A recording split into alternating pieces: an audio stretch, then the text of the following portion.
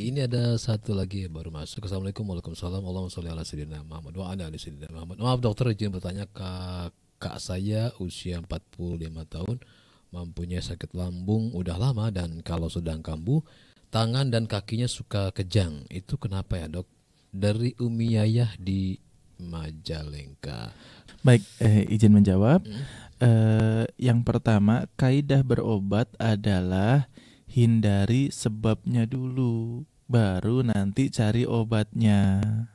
Kadang untuk meng- mengetahui penyebab itu kita kadang nggak pernah tahu ya, Iya, atau kan Tapi dokter sudah ngasih tahu. Jadi gini, pasti dokter akan memberitahu begini. Iya. Makan harus teratur. Artinya, kalau makan nggak teratur itu jadi sebab. Iya, iya, Nah, iya, kemudian hindari stres. Berarti kalau stres itu menjadi sebab. Hmm. Hindari keadaan-keadaan sulit tidur. Berarti kalau sulit tidur itu jadi sebab. Kan gitu. Jadi tinggal introspeksi saja. Kita yang yang mana? Apakah kita stres, sulit tidur, makan tidak teratur gitu. Stres itu bisa dibagi lagi. Kadang-kadang kita menganggap stres itu harus gila. Ternyata bukan. Oh, Stres itu misalkan cemas, gelisahan, khawatiran, panikan. Nah, itu kan sebetulnya sifat baik semua, panikan, khawatiran. Panik, oh. Khawatiran misalkan nih.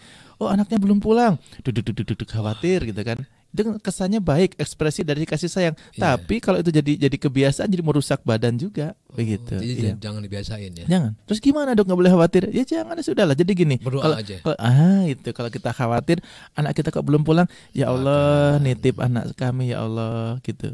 Iya. Anak kita di Surabaya kuliah, ya Allah nitip anak kami ya Allah di Surabaya. Begitu seperti itu.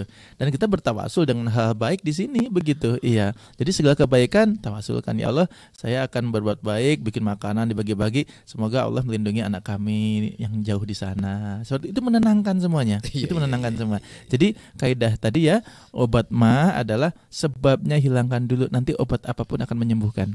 Ya, Iya. jadi makan teratur, hindari sulit tidur, hindari faktor stres tadi yang saya sebutin tadi semuanya. Ya, Oke,